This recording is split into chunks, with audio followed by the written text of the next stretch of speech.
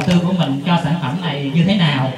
Và câu thứ ba là không biết là sắp tới thì mình sẽ có những cái chương trình hay là những cái live show gì liên quan đến cải lương để mình giới thiệu đến khán giả không ạ? Xin cảm ơn. Cảm ơn em trai. À, trả lời câu hỏi này thì long sẽ à, đưa ra một cái tiêu đề là long rất là tham.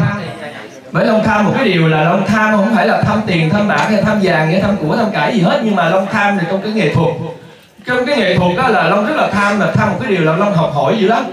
Cái học hỏi của long á là long là một người nghệ sĩ cải lương. Nhưng mà long hát cải lương thật sự đó nhưng mà long muốn mình á khán giả đã yêu mến mình rất nhiều về bộ môn cải lương rồi. Long muốn thể hiện cho mình một cái điều một tất cả các lĩnh vực tất cả các bộ môn mà long vô cùng muốn học hỏi. À, nghệ sĩ thì như là tất cả các cô chú anh chị đàn anh đàn chị đi trước từ ca sĩ diễn viên nghệ sĩ cho nên là long muốn là mình làm cái gì thì phải ra cái đấy. Hát cải lương thì phải ra cải lương, đóng phim thì phải ra đóng phim. Còn bây giờ ca nhạc thì ít nhất thì bây giờ mình đã thể hiện mv ca nhạc thì mình phải ra ca nhạc. Cho nên nếu mà cải lương thì long sẽ không bao giờ bỏ được. Bởi vì đó là cái nôi đó là cái nghề trong máu, trong tim của kim tiểu long rồi. Cha sanh mẹ đẻ từ lúc mà mới rặn ra là đã nói về kim tiểu long là đã hát cải lương rồi. Cho nên là bởi vì tên kim tiểu long là nghệ sĩ thôi nghệ danh thôi.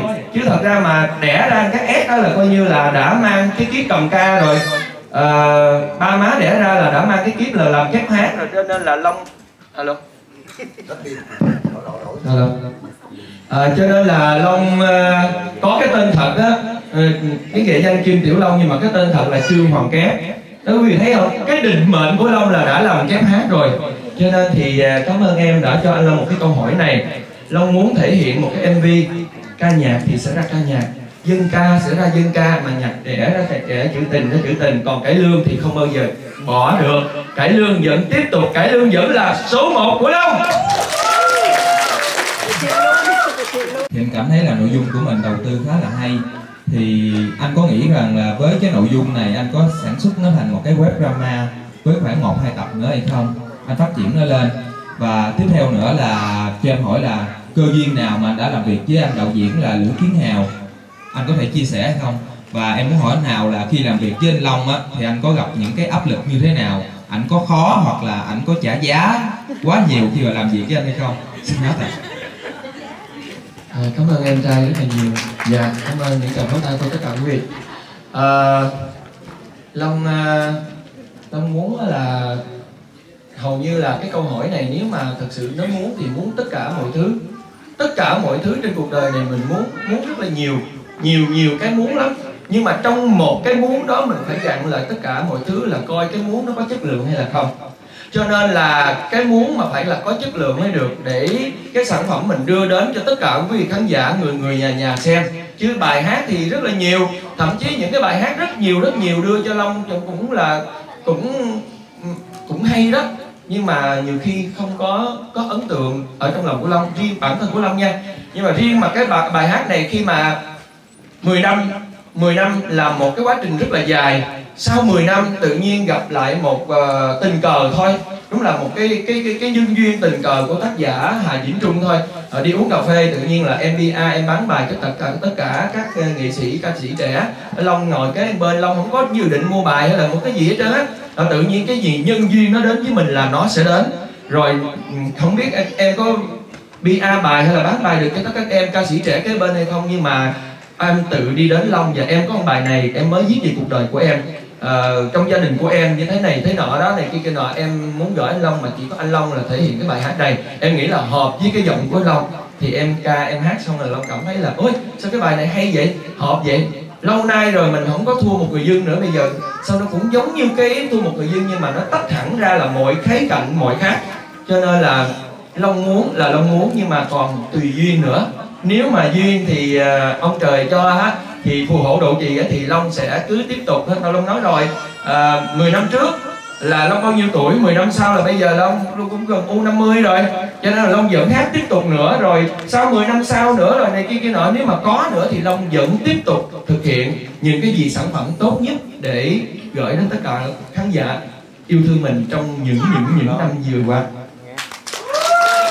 Còn nói về đạo diễn thì à, khi mà long chọn long chọn rất là nhiều khi mà long long nằm long ngủ long suy nghĩ quay qua quay lại quay tới quay luôn rất rất rất nhiều đạo diễn nhưng mà tự nhiên là nhớ trực tới hào. À, có một lần à, hai anh em gặp nhau ở dưới miền Tây Vĩnh Long. Hào cũng là người Dũng Liêm mà Long cũng là người Dũng Liêm. Cho nên Hào có nói anh ơi em rất là thương anh em rất là mến mộ anh trong những năm vừa qua mà bây giờ đó là anh là thần tượng của em nữa. Nhưng mà nếu mà có dịp quay mv anh cho em quay một cái mv của anh long nha. Thì trong bạch hạc bao nhiêu năm long cũng không có nhớ nhưng mà khi mà tự động long nằm long ngủ không nhớ à, hào có một lần hào nói với mình dễ thương quá thì thôi bây giờ kiếm điện thoại gọi cho hào em ơi đi ra uống cà phê với anh. Và anh muốn gặp em để bàn cái việc âm viên sắp tới à, cho anh một buổi hẹn dạ. Là em xin trả lời à, câu hỏi của anh là anh long có trả giá không? Thì thực sự bây giờ anh long không có cần tiền nữa cho nên về chuyện giá là long không có giá nữa. Anh long uh, thực sự anh long rất là tin tưởng hào thì hào xin cảm ơn. Và đây cũng là một người anh à, duy mỹ nữa. À, một người à, phát triển ý tưởng kịch bản này cho nên khi hai anh em ngồi bàn với long thì long nói là thôi bây giờ cứ chơi cho tới đi. Cái gì mà hay là em cứ bỏ vô cho anh. Cho nên chuyện trả giá là không có à. Dạ còn áp lực thì uh, rất là khỏe. Anh long bây giờ thì uh, suốt ngày là bây giờ chỉ ăn chay niệm phật thôi cho nên uh, hầu như quay phim rồi rất là vui hoan hỷ đi em cứ ngồi đó tụi em làm gì làm. À tới anh long ơi cao em xin ok tới anh hả chạy lên. Xong. Dạ vậy có áp lực không mọi người ơi? Dạ à, xin uh, cảm ơn uh, tất cả quý báo đài tất cả anh em nghệ sĩ và tất cả các uh, anh chị em bạn bè đã đến đây để ủng hộ một cái phim uh, ca nhạc của anh Kim Tiểu Long. Uh, và hào xin cảm ơn tất cả mọi người. Cảm ơn tất cả các báo chí đã cho em câu hỏi ạ. À. cảm ơn ạ. à. À, còn một cái ý tưởng nữa thì long nói luôn hồi nãy là bạn có hỏi á, thì à, về cái mv á, cái chất lượng á thì phải nói một cái điều là long không có màng về cái sự mà vấn đề ở đây là vấn đề khi mà làm việc để cho có sự chất lượng với đạo diễn với nghệ sĩ anh em diễn viên ở trong cái ekip á, thì mình không còn nói về cái vấn đề về tiền bạc ở trong đây nữa. Là bởi vì mình làm một cái điều gì mình tâm huyết á là đây là quý vị ơi thì các anh chị ơi là long bỏ ra hết tất cả những cái gì tiền túi của long long đi hát được tết tới nay á long trút vô hết long làm hết thậm chí à, hào ơi em lấy cái đó vậy hào ơi em làm cái đó vậy vậy vậy. Tất cả mọi thứ đừng có bao giờ nói cái vấn đề tiền bạc ở trong đây nữa. Là coi như là cái mv này nó rất là uh, long long nghĩ một cái ý tưởng là long thấy là long làm long bỏ ra hết tất cả mọi thứ và không có lợi nhuận nào trong đây mà cũng không bán cũng không uh, bán cho công ty cũng không bán bất cứ một ai cái mv này. Long bỏ ra hết bằng cái tâm huyết của mình. Long cúng dường cho tất cả quý vị khán giả xem chứ long không có lấy lợi nhuận bất cứ một cái gì trong đây hết. Đó là như vậy. Vì sao mà cô nhận lời tham gia một cái uh, sản phẩm của anh Kim Tử Long? Uh, như thế này và có những cái khó khăn nào không khi mà tham gia cái vai diễn này? Xin cảm ơn cô. Trước hết thì điệu uh, lời. Uh, xin chúc sức khỏe tất cả các em các cháu và các bạn um, và đồng nghiệp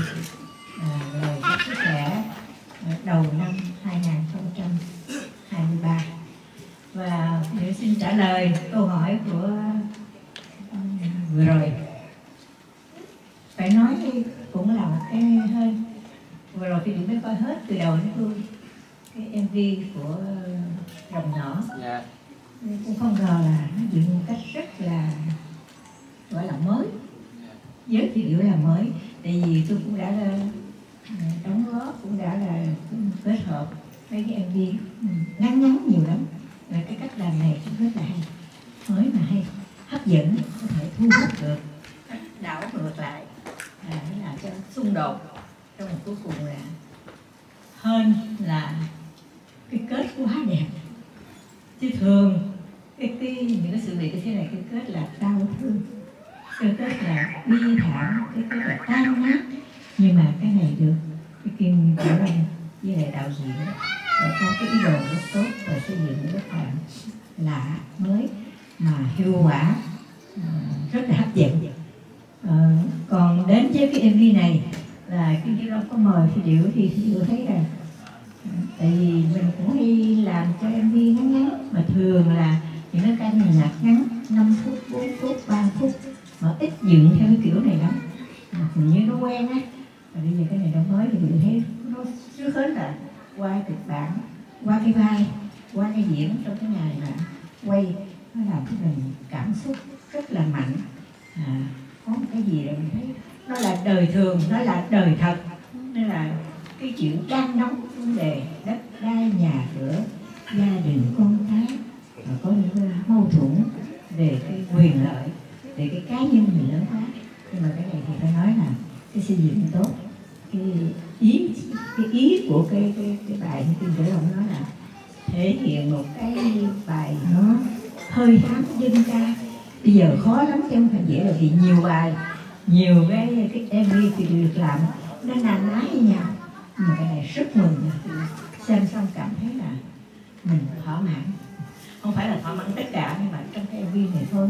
Thành ra cái này thì xin uh, lúc mà tôi nhận lời không tưởng tượng được cũng không nghĩ rằng là nó đến kết quả như hôm nay, mà nhất là thể thầy thì cũng xin chúc Kim Tiểu Long được nhiều cái MV như thế này.